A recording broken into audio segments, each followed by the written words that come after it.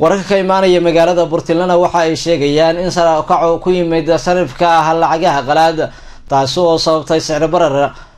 Qaar ka mid a bulshada ku dhaqan magaalada puntland ayaa arrinkaasi cabasho ka muujinaya. Wariyaha iyaga ah aadan axmed ar ayaa warbixintaasi nooga soo diray puntland iyadoo muddooyinkii u dambeeyay degmada buurtinle uu ka jira sicir barar baasan oo saameeyey guud ahaan ganacsiga degmada buurtinle halka boqolka dollar uu gaaray gacanta hore in ka badan saddex malyan iyo boqol halka gacanta dambena uu marayo saddex malyan iyo laba boqol.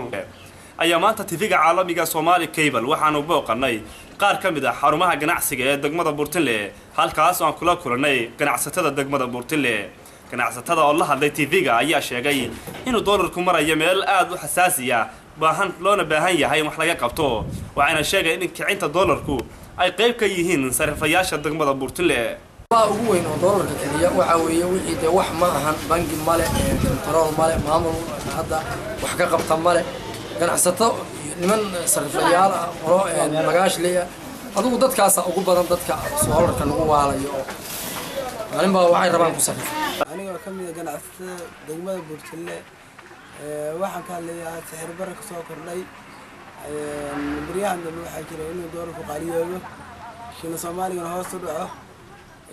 sababtaas aan la garanayn dhibaatana ku keentay ganacsatada degmada buurtille gebi ahaanba way saameysay. Waa gartay baane waxaad xaqiij noo sheegtay in doolarka kacay lacagta soomaaligana ay haatan marayso in hoos u dhac ku yimid. Marka bal sababta ay ku timid arrinkaasi maxaa is leedaa waaye? Waxaa keenay lacago badan oo magaalooyinka soo galay. Waxaa kaloo keenay hadduu doolarku bato soomaaligu uu qaaliyoobiya hadduu soomaaligu batan doolarka kacay sixirbararka marka aad buu u saameeyey dadka bulshada ah weliba oo waxba aan haysan ganacsatadu waxaydii waa ceshatay dadkii waxba laga gadimiyo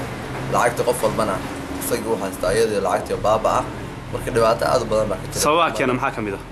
sababaha keena waxaa ka mid ah lacagtaan laga keenayo ilaa iyo beledweyne oo canibilayaasha lagu soo rarayo xoolaha iyo sida oo degmada gudaheeda lagu dejinayo sarifayaasha hadda waxay doonayaan interest boqol kun laba boqol waxaa kow ka ah waa iyaga oo danaynaya in lacag badan ay soo gasho. Dhinaca kale sarifayaasha degmada buurtunle oo aan ku booqanay goobtooda goobahooda ganacsi ayaanu arrinkaasi weydiinay. Gudoomiyaha guddiga sarifayaasha degmada buurtunle cabdulaahi aadan faarax ayaa sheegay inay saameynta doolar kicinta degmada buurtunle aysan qayb ka ahayn la shaqnay degmada iyo amniga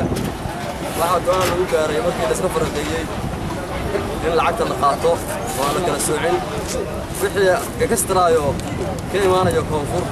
oo lacagta jilicsanayda taasaa waxaa la yaha la xakameeyo waana wax dalka iyo dadka dan ugu jirto annagu haddaan nahay degmada buurtina ama qolada sarifka ama qolada ganacsiga waxaanu go-aan ku gaarnay markaanu wadatasha kabacdi samaynay lacagta inaan qaadanno